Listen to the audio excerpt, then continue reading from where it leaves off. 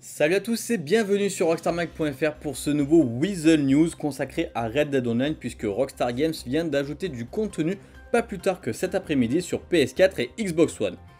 Le principal contenu c'est le nouveau mode de jeu Trésor de guerre qui est largement inspiré des modes capture. Dans ce mode, composé de 2 à 16 joueurs, vous êtes répartis en plusieurs équipes. Chaque équipe doit voler le butin du repère ennemi puis le ramener dans son propre repère tout en protégeant son propre butin. L'équipe qui vole le plus de butin remporte la victoire. Vous pouvez participer à ce mode de confrontation dans plusieurs lieux comme le Fort Mercer ou encore Valentine. Et pour participer à une épreuve de trésor de guerre, rien de plus simple, il suffit de sélectionner les modes série depuis l'écran titre de la bêta de Red Dead Online via l'option rejoindre rapidement du menu joueur. Cette semaine également, profitez de 20% d'XP bonus dans toutes les séries de confrontation et si vous remportez une épreuve de trésor de guerre, vous allez remporter 8 flèches explosives dans le bureau de poste le plus proche ou dans votre coffre-fort dans votre camp. Cette semaine également, Rockstar propose les premières tenues en édition limitée.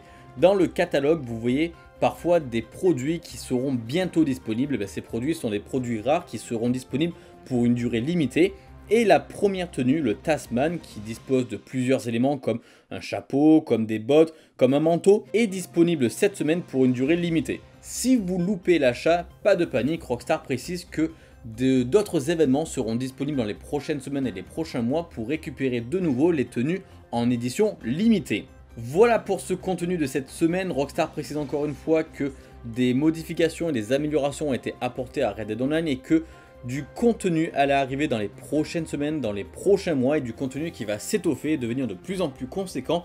Donc il faut rester à l'écoute. En tout cas, comptez sur nous pour euh, rester à l'affût et pour traduire toutes les informations et vous les proposer en française sur notre site, sur nos réseaux sociaux et sur notre chaîne YouTube. Alors le mieux c'est de s'abonner. Nous venons de franchir les 93 000 abonnés. Un énorme merci à tous. Le mieux, c'est de s'abonner, d'activer la petite cloche, de nous rejoindre sur nos réseaux sociaux, de mettre un petit like, un petit commentaire et de partager cette vidéo. Et on se dit à très vite. Salut à tous